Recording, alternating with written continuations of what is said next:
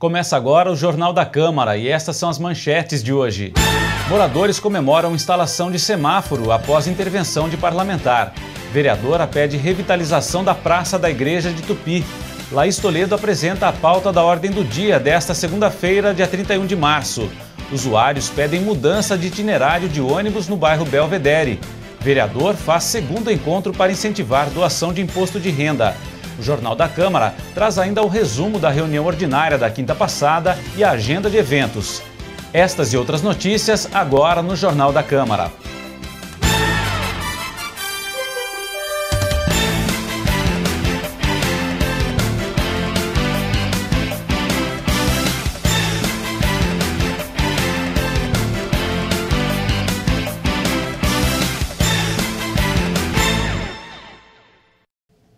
Os moradores do bairro Vila Sônia estão comemorando o início da instalação de um semáforo para pedestres em uma avenida bastante movimentada.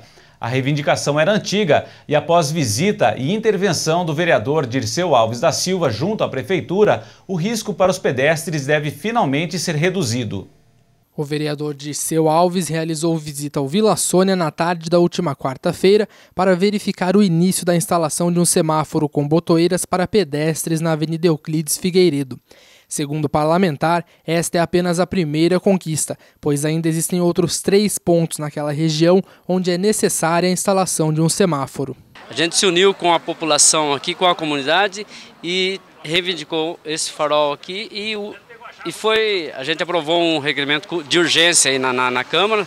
A gente tem várias reivindicações, não só nesse, nesse local aqui para Farol, mas na outra a rua de cima também, que é a mesma avenida Euclides Figueiredo com a Peixoto Gomindes, né? Que a gente já tem indicação, tem requerimento, pedido de um farol. Os moradores da região comemoram essa conquista, pois afirmam que aquele é um ponto muito perigoso para a travessia de pedestres. Aqui, se você não passar com mil olhos, você é atropelado. Aqui não tem condição. A pessoa idosa geralmente não pode passar, tem que ser proibido. É, você ainda arrisca, né? E consegue passar por um milagre. Mas aqui é uma loucura. Né? A lombada já sumiu. Você vê aí, a de cima e a de baixo. Ela já abaixou, então não, não surte efeito. É pintura no chão. Você acredita que o carro vai parar e não para. Muitos acidentes já aconteceu aqui. Muitos atropelamentos, é, batida de carro. E eu acho que está na hora da gente ver isso aí e acabar. Acabar com tudo isso aí. Por isso acho que o sinaleiro é o, o que vai resolver aqui para acabar com esse negócio aí de alta velocidade aqui na, nessa avenida aqui. No mesmo dia, Dirceu ainda visitou outro ponto do bairro para verificar a situação de buracos, onde foram encontradas crateras que dificultam o trânsito de veículos pelo local. O asfalto está totalmente deteriorado. Essa rua Felício Nani aqui no Jardim Sônia, na verdade, infelizmente, ela está praticamente a rua toda esburacada, do início até o fim. Então nós estamos fazendo matéria aqui para estar tá mostrando para o secretário a situação que está, a calamidade que está essa rua aqui no Jardim Sônia. A vereadora Márcia Pacheco esteve em Tupi para verificar melhorias que precisam ser realizadas na praça da igreja do bairro. Ela estava acompanhada de representantes da Secretaria Municipal de Meio Ambiente. Veja a reportagem de Gustavo Vargas. A vereadora Márcia Pacheco e o padre Renato Luiz Andreato se reuniram na última sexta-feira com representantes do secretário municipal de Meio Ambiente para discutir a revitalização da praça da Igreja de Tupi. As principais solicitações são de melhorias na iluminação, que é precária, e a colocação de bancos e lixeiras na praça. A comunidade reivindica é, uma dúzia de bancos, né, 12 bancos para colo serem colocados em locais aqui ao redor da praça, que, que também vão ser ditos pelos próprios munícipes, é, na pessoa do Padre Renato. Eles pedem algumas lixeiras, principalmente no, nas ruas laterais e na rua que fica na frente da igreja. E também eles reivindicam iluminação, porque nos cantos da praça a iluminação realmente está comprometida. As árvores são altas e as, as ruas das luzes da CPFL não dão conta de clarear isso. Então a gente está com esse problema e eu espero que nas próximas licitações que a prefeitura for fazer é, com relação a bancos e com relação a, a a luminárias e com relação a lixeiras, que possa estar incluindo essa feita agora por, por Tupi.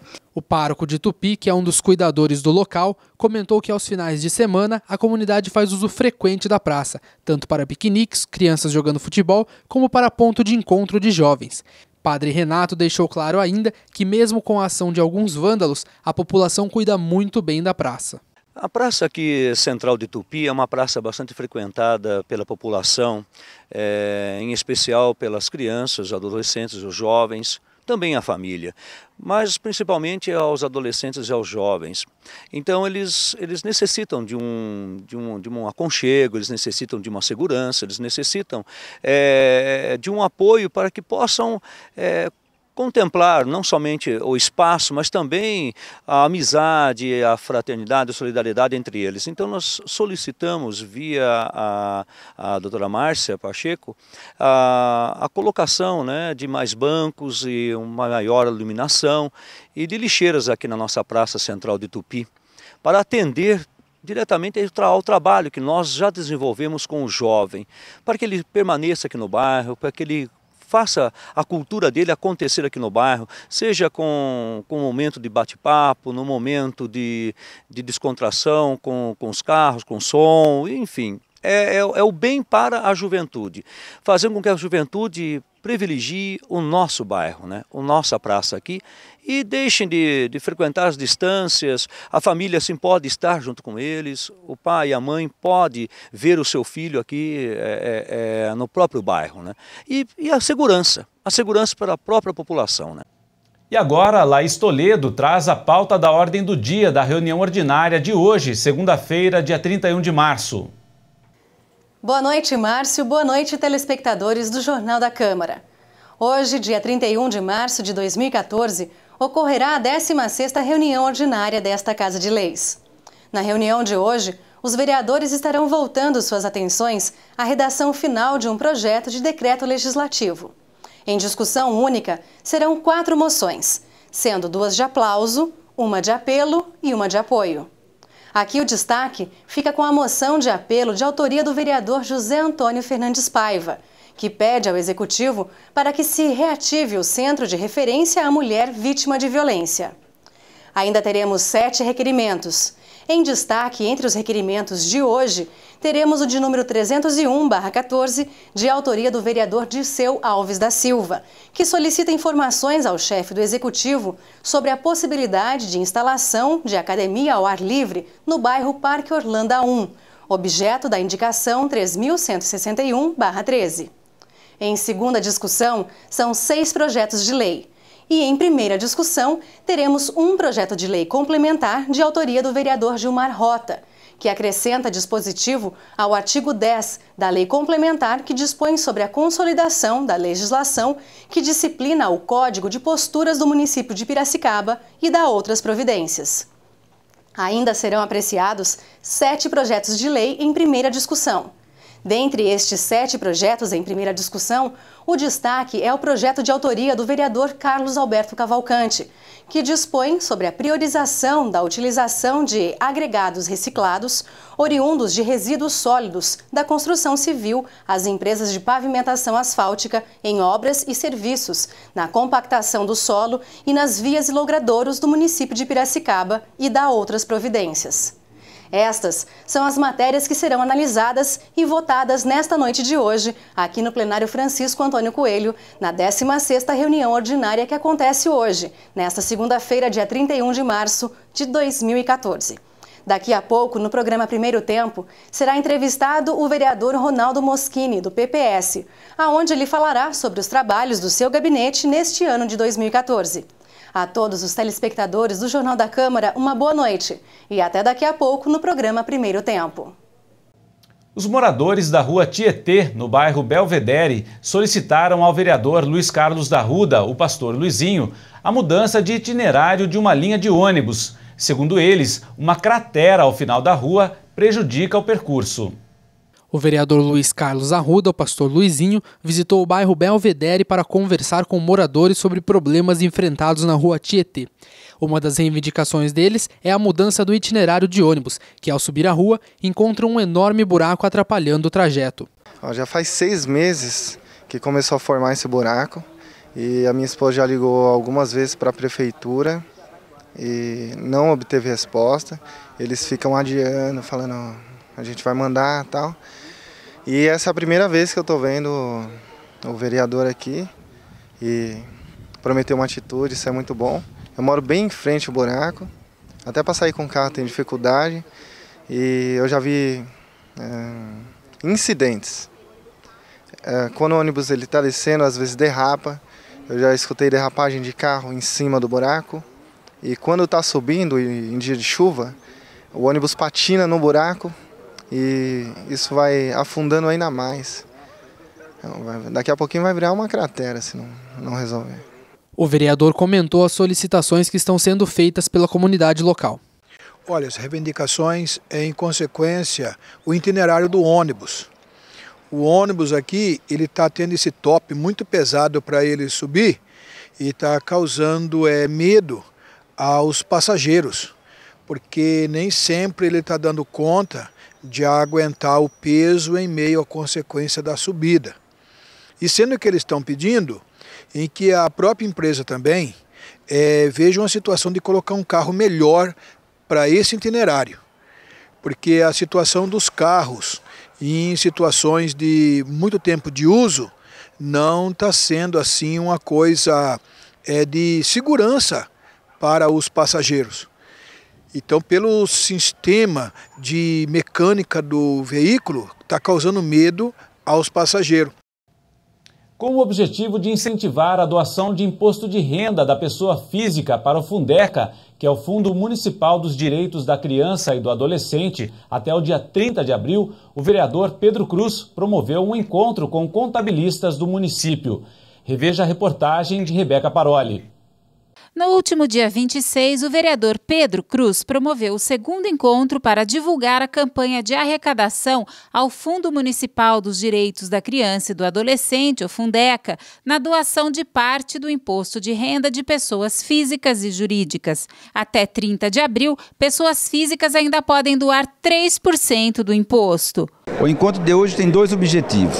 O primeiro, que a, a lei federal do imposto de renda permite ainda para que a pessoa física, no ato do encerramento da, da, da, do imposto de renda, ele possa ainda fazer a sua doação ou para uma entidade ou para o Fundo de Desenvolvimento da Criança e Adolescente. Então, o primeiro objetivo desta reunião não é, é sonhar, não é, fazer o trabalho de planejamento que nós já estamos com ele totalmente fechado.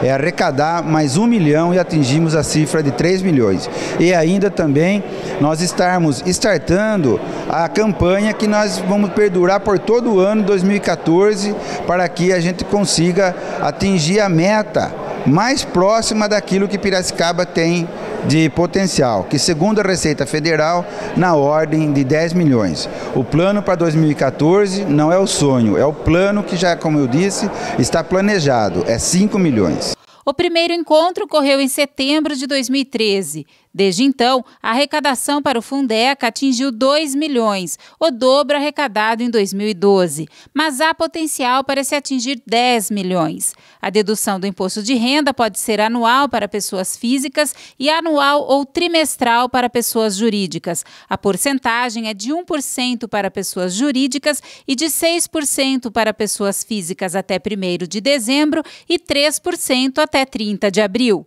Vimos bater a casa dos 2 milhões ano passado. Né?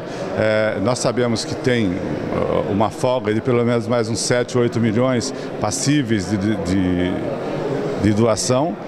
E como até a entrega da declaração do imposto de renda no dia 30 de abril é possível fazer a doação de não de 6, mas de 3% do imposto devido, é, esse é o esforço tanto da, da Câmara como do Sindicato dos Contabilistas para que isso se alavanque né, e consiga uma, um, uma doação maior até o dia 30 de abril.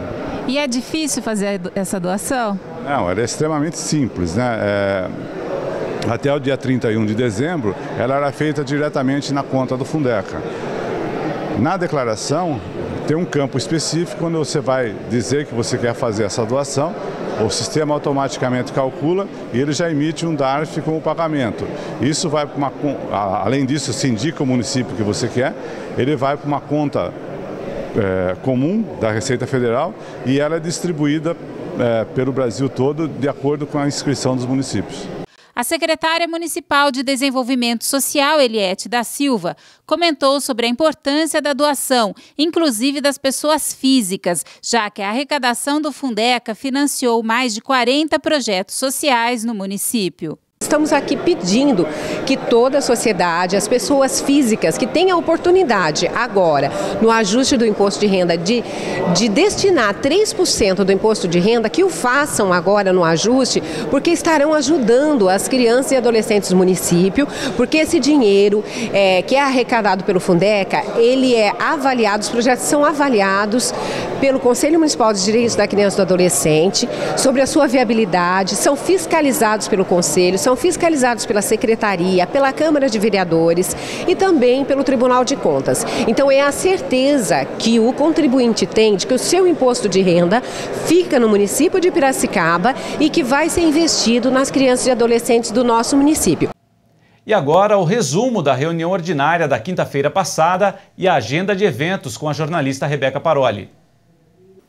A 15ª reunião ordinária de 2014, realizada na última quinta-feira, contou com 19 proposituras. Foram analisados em discussão única três moções e nove requerimentos. Em segunda discussão, avaliados três projetos de lei. Em primeira discussão, apreciados dois projetos de lei complementar e dois projetos de lei. Nesta reunião, os vereadores aprovaram as proposituras relativas à reposição salarial dos servidores e aos subsídios dos vereadores. Confira agora a agenda de eventos entre amanhã e quinta-feira.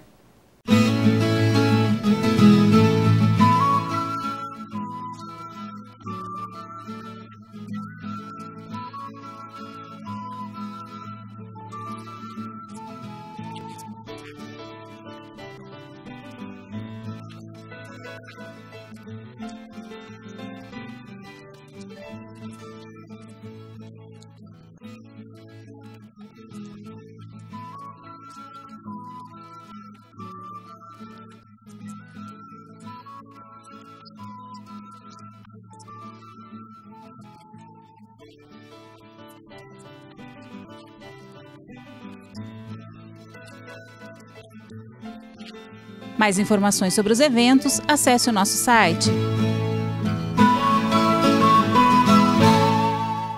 Termina aqui mais um Jornal da Câmara. Esta edição está disponível no câmarapiracicaba.sp.gov.br no link TV Câmara.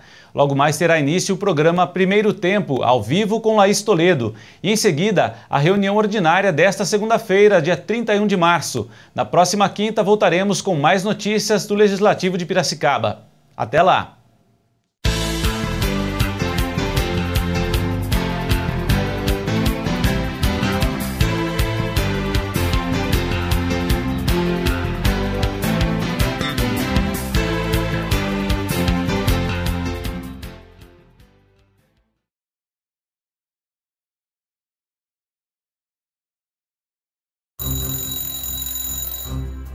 Você apresentar febre alta, dor de cabeça, dor atrás dos olhos, no corpo e nas juntas, procure uma unidade de saúde. Pode ser dengue. Caso você já tenha sido diagnosticado e apresentar dores abdominais e vômito, não perca tempo. Retorne à unidade de saúde. Pode ser a forma grave da doença. O SUS preparou milhares de profissionais de saúde para te atender melhor. Juntos, somos mais fortes nesta luta.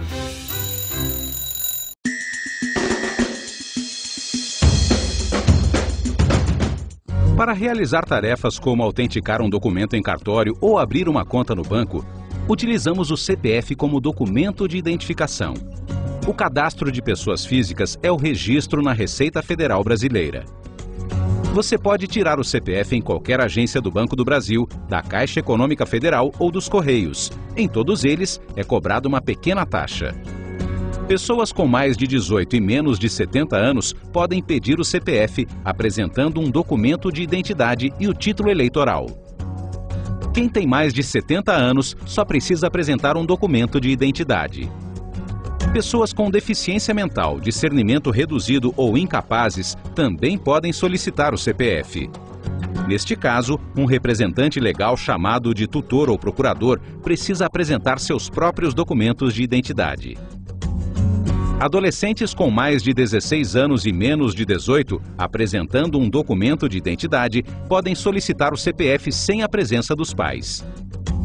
Brasileiros que saíram do país e estrangeiros com visto permanente ou visto temporário para trabalhar, além dos documentos de identificação, precisam preencher um formulário disponível no site da Receita Federal.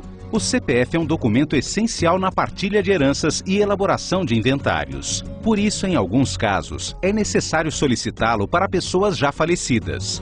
Um representante legal pode dar entrada na inscrição do CPF. Além de seus documentos de identificação, o representante deve apresentar o original e uma cópia simples de uma declaração que justifique a inscrição no CPF, a certidão de óbito e um documento de identidade do falecido.